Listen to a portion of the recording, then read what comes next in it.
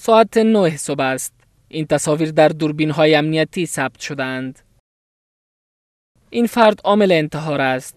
او خودش را تا منزل سوم فرماندهی پلیس کابل می رساند و ظاهرا آدرس دفتر فرمانده پلیس کابل را می پرسد. فرد انتحاری بگونه ملبس با دیریشی غیر نظامی است که هرگز دیده نمی شود در بدنش مواد انفجاری را بسته کرده باشد.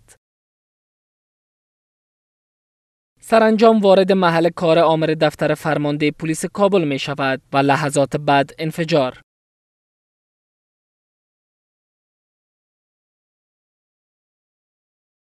مواد منفجره بیشتر احتمال داره که در قسمت های نیکر تر از کمربندش دهوش جای به جای شده باشه. چون شما اگر تصویر از او خوبتر ببینین که به مشکل راه میره. حتی از زینا به سختی بالا میشه. و کتی کسی که مواجه میشه سوتی که در خود گوشه می‌سازه که در جانش تکر نکنه که انفجار رخ نته روی از دلیل ای از این تلاشی ها تیر شده نمی‌تونه شما واضح می‌بینید مو گپا طبیعتا ای توسط کسی تا به رسانده شده. در این رویداد دگروال یاسین آمر دفتر فرمانده پلیس کابل کشته شد و شش تن دیگر زخم برداشتند.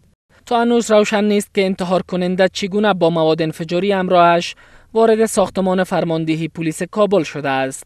جنرال زایر می‌گوید که بررسی ها در این باره جریان دارد. قضیه کاملا سازمان یافته و بسیار مغلق و پیچیده است.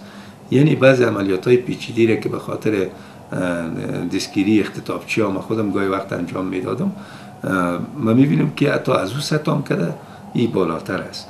یعنی پشت از تو دستایی است که فعلا وقت زیاد کار داره که بخشای کشفی ما روی از اون مسئله کار کنن. یک آدم که به او شکل تا به اوجه می‌رسه این گپ ساده نیست. علاقات مافیایی و سازمان های استخباراتی همسایه ها در دست داشتن در این رویداد دخیل دانسته می شود رویداد که هدف اصلی فرمانده پلیس کابل بوده است. اول اونا کوشش کردن که از طریق بادیگاردای ما رخ نکنن. بیان ای به این شکل ما از بین ببرن.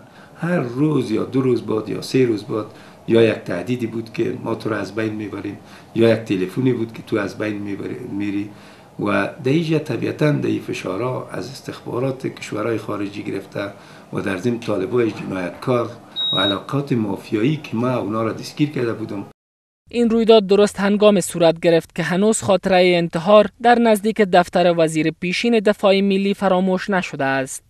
حال نگرانی این است که همانند آن رویداد کسانی که فرد انتحاری را وارد فرماندهی پلیس کابل ساختند نیز شاید هرگز نام از آنها برده نشود.